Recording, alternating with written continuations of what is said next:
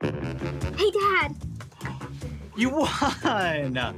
Great job, sweetie. I'm so proud of you. It's ice cream for dinner. I'll think about it. Go get cleaned up.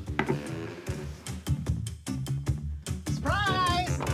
Yes!